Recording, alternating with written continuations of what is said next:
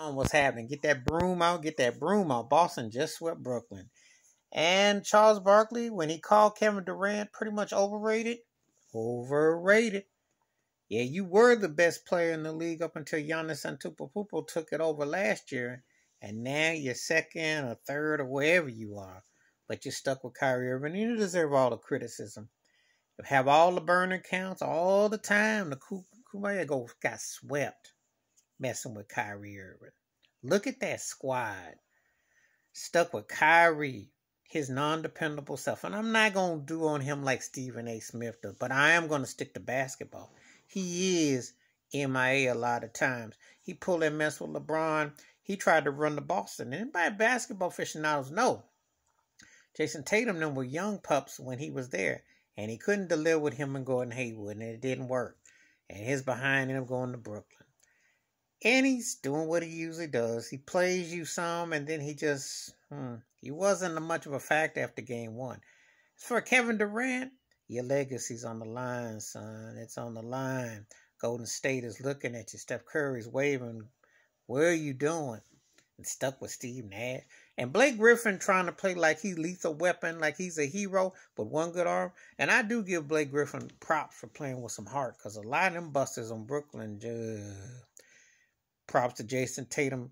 That was a bogus game, by the way. That Scott Foster need to be banned. He's a joke as a ref. He sucks.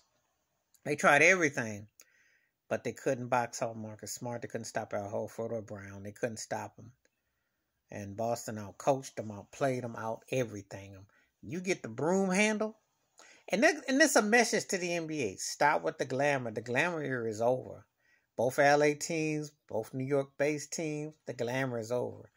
I, Steph Curry is the last man standing because I told you the, the LeBron Durant era is coming to an end. Steph sees too, but if Steph is smart and they got the right pieces to see what happens with Jordan Poole and what they got, that'll be interesting.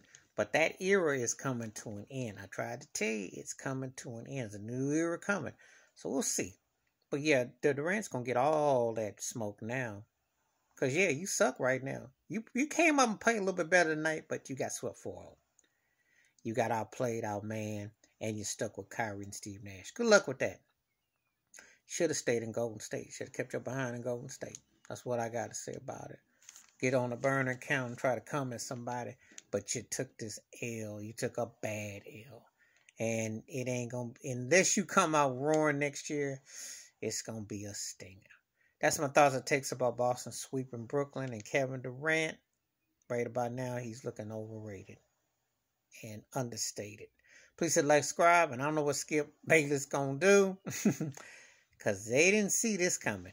Like, subscribe, welcome thoughts and comments, and I do respond. Thank you, and I'm out. Peace.